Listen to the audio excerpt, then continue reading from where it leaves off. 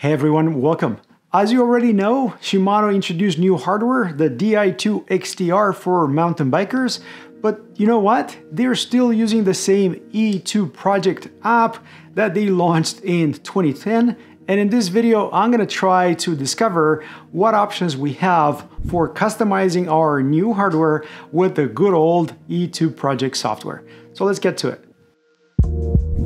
The new wireless XTR is called Di2 because these are Di2 platform components the electronics that Shimano have been launching or using for quite a few years, whether that was mountain biking or road or e-bike components, they're all Di2 part of the platform.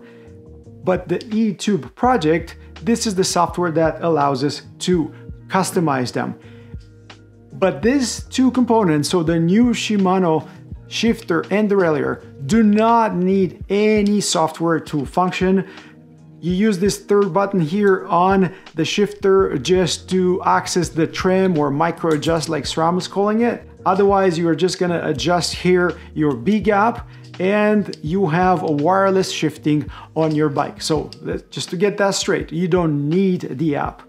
But in this video, I wanna show you what's in it. And obviously you would start with installing the Shimano app, then creating a login, and that would take you to this big plus sign. This pretty much tells us that we're ready to accept new components to the system. And remember, you need to have Bluetooth enabled on your phone because that's what we're gonna use to connect to the shifter and derailleur. Shimano calls it the function button is down here. So if you press and hold, you're gonna get this flashing blue. That's the Bluetooth broadcasting its presence. You go here, click on the plus. It's gonna look for my derailleur. Here we go. Register. Pairing request. Yes, please. Uh, passkey. Do you want to change your passkey? Change it later. I think it's just a bunch of zeros by default. We don't want to change that. Leave it the way it is. Now connecting, this is connecting to the Shimano servers. So you need a good internet connection on your phone when you're attempting this. Otherwise, I assume it could time out or take a lot longer. And here they are, both the shifter and the derailleur, both of them connected prior or paired prior to this, as you've seen me doing it. Menu at the bottom says next. Here we go. And you're gonna give this a name. You can put a picture on it. This is gonna register a bike uh, into the system. And here we go. Do you want to save the passkey for your bike on the server? I assume so. So now registration of my shifter and derailleur is complete and you can see here at the top one is update, one is customize and the third one is maintenance. Update obviously it shows you if there's new firmware available for your products. In my case, yes, the uh, derailleur has. Here we go. Update it. Update it, please. And thank you. Just expect this to take long as well, so patience, fully charged battery is probably recommended. Now we can finally go to customizing uh, the derailleur and the shifter. And one important piece here is right here under the derailleur setting. If you're not using this with an e-bike, which I won't, make sure that you disable this. No, I do not. So keep that off that is definitely a recommendation from Shimano. I don't know how Shimano would know what cassette I have because I cannot change it here. And here's the many ways to set up uh, the multi-shifting on the derailleur. By tapping here at the top, you're gonna get all these explanations from Shimano about how this setting is gonna affect the shifting on the bike. As opposed to SRAM, Shimano gives us different settings for multi-shift. This is the speed that we read about earlier. Very slow, slow by default is set to normal, fast and very fast. I'll leave it at normal because it seemed to work just fine. And then here at the top, you're gonna tell the system on whether you wanna enable multi-shift on the first click of each button or the second click of each button or both. Both is enabled by default as you can see. under the shifter itself, press and hold one of the buttons on the switch unit, press and hold.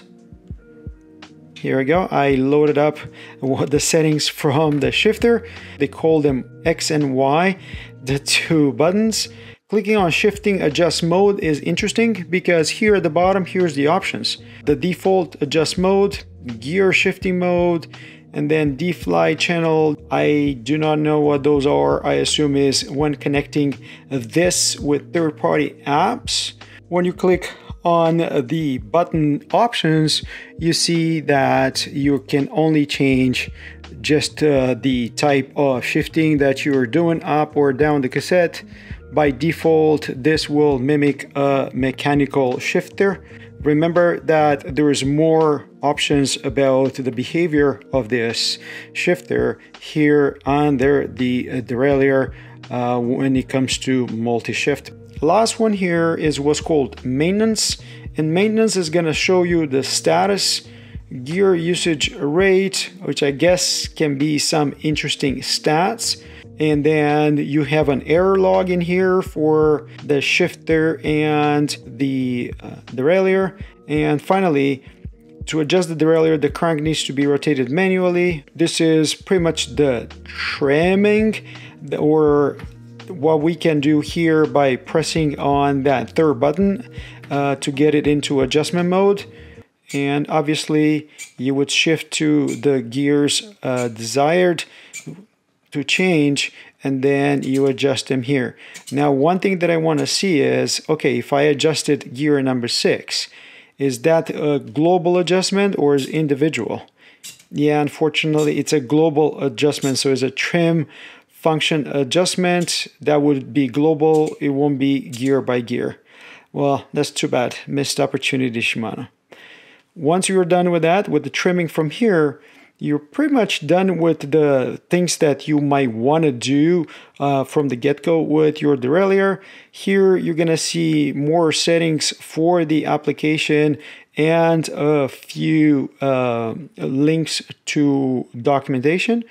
And if we go back here in the top right corner, you can change uh, the nickname, you can delete the profile you've created, just admin uh, things like that you have to remember this. As long as uh, the app shows connected, the derailleur is actually talking to your phone, is not going to talk to this.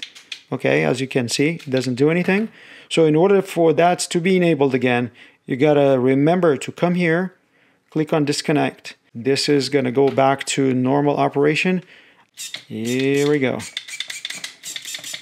When reconnecting to your drivetrain, obviously you're going to launch the Shimano app.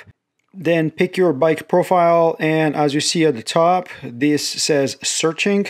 So you got to make sure that you go back to your derailleur, press and hold that function button to enable the Bluetooth. And as soon as you do that, connecting pops up. It's going to ask you to change the passkey. I'm not going to.